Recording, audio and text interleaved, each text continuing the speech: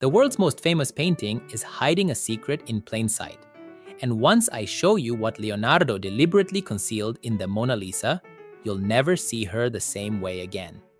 It's not her smile, it's not a code or conspiracy, it's something far more ingenious that reveals why this painting has hypnotized viewers for 500 years while similar portraits were forgotten. I'm Oleg G from Art Explained Simply and Quickly. And today, I'm revealing what Leonardo da Vinci never wanted you to consciously notice about the Mona Lisa, but made sure your brain would detect anyway. Look at her eyes for a moment, not what they look like, but where they're focused. They're looking directly at you, following you around the room, or so the common story goes. But that's not actually the secret. The true genius is that Leonardo created two completely different paintings merged into one.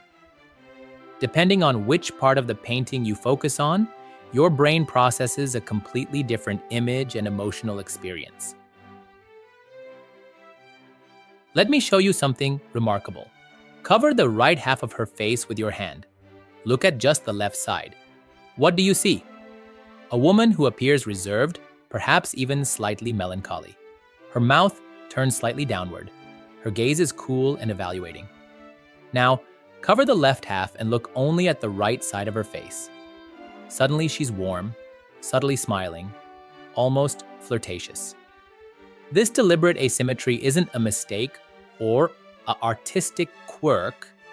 It's a carefully engineered psychological effect that Leonardo developed after years of studying human perception. Leonardo understood something that neuroscientists would only confirm centuries later. Our brains process facial expressions differently depending on which side of the face we're observing. The right hemisphere of our brain, which processes the left visual field, responds more strongly to negative emotions. The left hemisphere, processing the right visual field, is more attuned to positive emotions. By creating this dual expression, Leonardo ensured that viewers would experience a constantly shifting emotional response without ever consciously understanding why.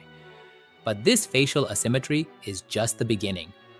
Look at the background behind Mona Lisa. Notice how the horizon line doesn't match up? The landscape on her right side sits noticeably lower than on her left. This wasn't carelessness from one of history's most meticulous artists, it was another deliberate perceptual manipulation. Combined with the facial asymmetry, it creates a subtle visual instability that keeps our brains constantly working to resolve the image, preventing us from ever feeling like we've fully seen the painting. Let's step back and understand the historical context that makes these visual tricks so revolutionary. When Leonardo painted the Mona Lisa around 1503, portraiture followed strict conventions. Women were typically depicted in profile, showing their most flattering angle. Backgrounds were often flat or highly stylized. Expressions were expected to convey dignity and status rather than psychological complexity. Leonardo shattered all these conventions. Not only did he position his subject directly facing the viewer, but he also employed his sfumato technique, the smoky, soft focus effect created by layering ultra thin glazes of paint. This technique is particularly evident around the corners of Mona Lisa's mouth and eyes, precisely where we look to interpret expressions.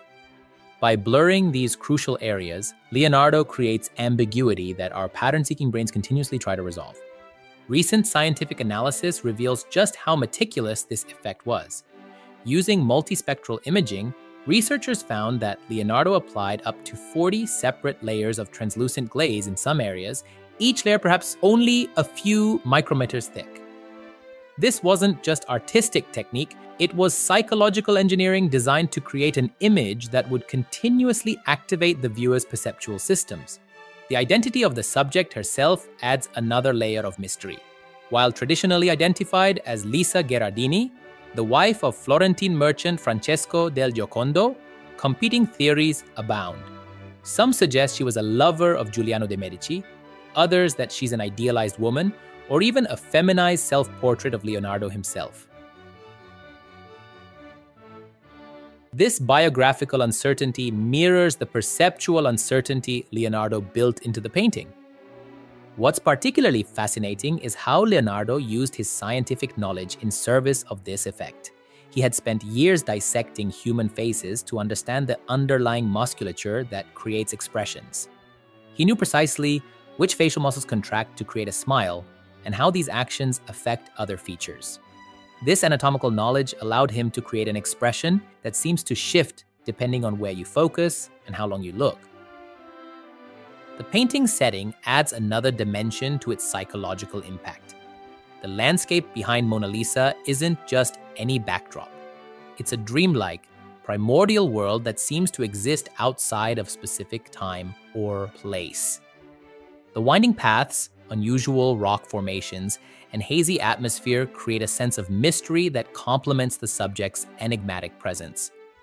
Notice how there's no clear boundary between the figure and background, another way Leonardo creates perceptual ambiguity.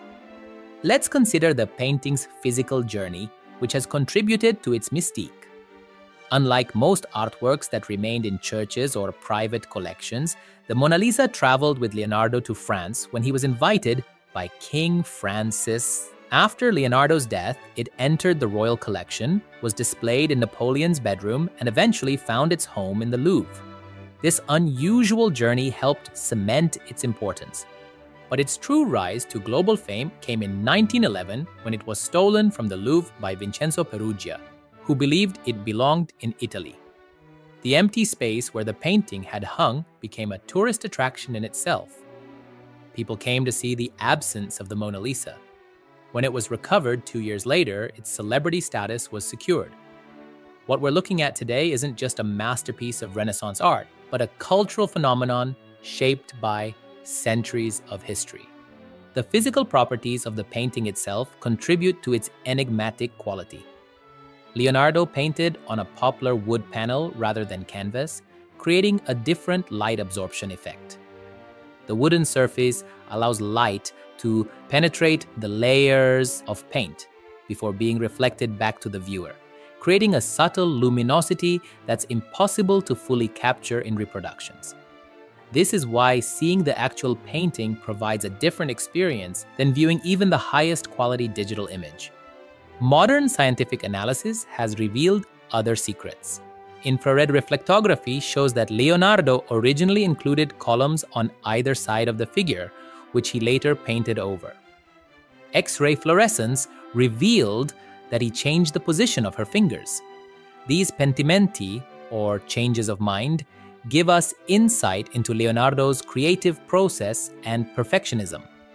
The painting we see is the result of years of refinement and reconsideration. The size of the Mona Lisa surprises most first time viewers. At just 30 by 21 inches, it's much smaller than people expect based on its cultural significance. This intimate scale was intentional. Leonardo designer uh, designed it for close viewing in a private setting, not for public display. When we see it today, surrounded by crowds and protected by bulletproof glass, we're experiencing it in a context completely different from what the artist intended. Let's return to that asymmetrical face, the secret hiding in plain sight. This technique, combining different emotional states in a single portrait, was unprecedented in Western art. Yet Leonardo didn't announce this innovation or draw attention to it. He understood that its power lay precisely in its subliminal effect, in the way it creates a dynamic viewing experience without the viewer understanding why. The painting's influence extends far beyond the art world. It has been appropriated, parodied, and referenced countless times in popular culture, from Marcel Duchamp's mustachioed version to Andy Warhol's silkscreens to its appearance in films, advertisements, and memes. This cultural ubiquity makes it difficult to see the painting with fresh eyes, to experience the perceptual ambiguity Leonardo so carefully engineered. What makes the Mona Lisa truly revolutionary isn't any single feature, but the way it engages the viewer in an active perceptual process. Unlike most artwork that presents a static image for our consumption, the Mona Lisa seems to change as we look at it. It resists definitive interpretation. It keeps us looking, sensing there's something we haven't quite grasped. 500 years after its creation, it continues to do exactly what Leonardo designed it to do create an endless loop of visual fascination. If you're intrigued by how artists use psychology and perception to create enduring masterpieces, hit that subscribe button right now and join our community of art explorers. Every week on Art Explained Simply and Quickly, we uncover the hidden secrets behind history's most influential artworks. What aspect of the Mona Lisa fascinates you most?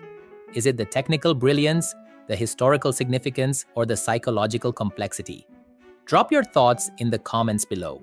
Your perspective might help others see new dimensions in this endlessly fascinating work. If this video helped you appreciate Leonardo's genius in a new way, give it a thumbs up it helps more people discover these incredible stories of art history. See you in the next exploration.